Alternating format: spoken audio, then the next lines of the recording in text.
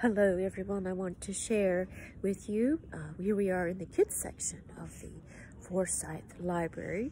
And uh, here is uh, Huckleberry Robin, my first children's book that I co-authored as a three-generation collaboration uh, with my family. And my 97-year-old grandmother Betty B. Schabacker did the illustrations. And uh, it is based on a true story.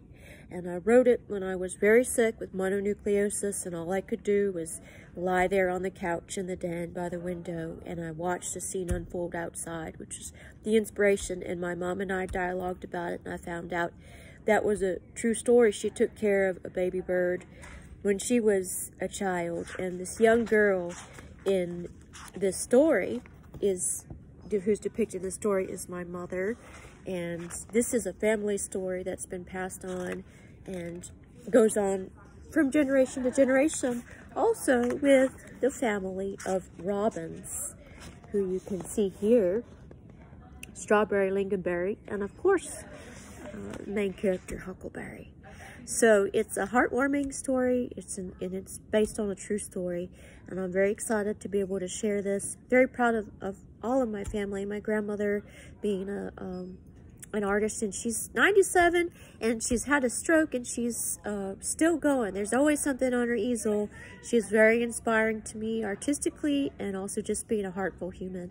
And uh, we're looking forward to teaming up more and we look forward to being part of the uh, local art, uh, local author event. And we're going to have uh, books and also some, some music that's inspired by the children's books. And I hope to be writing more as well. Uh, right now, um, every month I've been writing for Forsyth magazines, so Forsyth Women and Forsyth Family, and also write freelance for Nat National Geographic and National Geographic Kids, and it's a great opportunity to tap into inner kid, and um, I've always enjoyed and want to embrace being a kid at heart, so whatever age I am, I hope that I'll be able to, to do that, and hope you stay inspired and um, are able to be part of leaving a, um, a legacy of literacy and passing on these family stories and other stories from generation to generation that uh, inspire us and uh, celebrate life. On Fifth Street in downtown Winston-Salem. There's so much here, so many amazing uh, books and uh, all kinds of media that you can find and check out. And I'm looking at under SCH, under author's name, and here has Huckleberry Robin. My mom and my grandmother and I, are three-generation collaboration. There's my mom and I.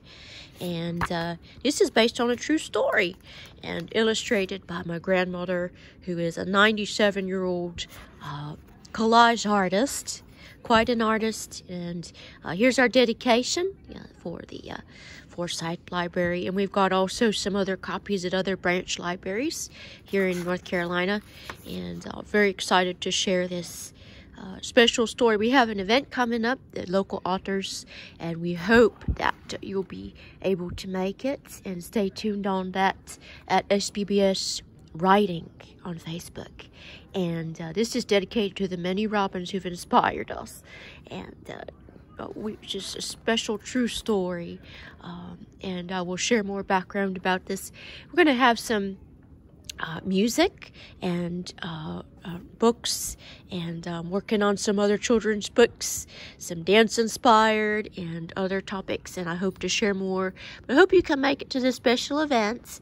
And uh, next time you come to the library, definitely check this out. It's in the kids section under uh, SCH for Schabacker, for Schabacker. And I hope that you will stay tuned for more, not just for kids, but also for kids at heart.